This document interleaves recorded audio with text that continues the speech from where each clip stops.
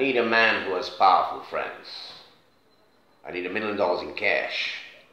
I need Don Corleone, those politicians that you carry in your pocket. Like so many nickels and dimes. And what is the interest for my family? 30%. In your first year, your earn should be three, four million dollars. And then it would go up. And what is the interest for the the Downey family? My compliments. I'll take care of the Tattaglias.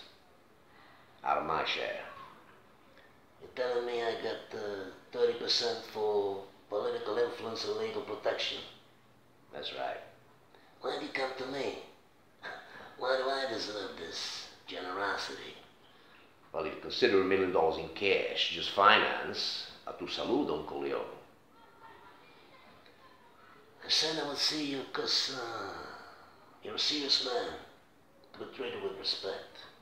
But uh, I must say no to you, and I'll give you my reasons. It is true, I've got many friends in politics, but they wouldn't be friendly very long if they knew my business was drugs instead of uh, liquor and gambling, which they regard as a harmless vice. But drugs is a dirty business. Hey, Don Corleone. It doesn't matter to me what a man does for a living, understand?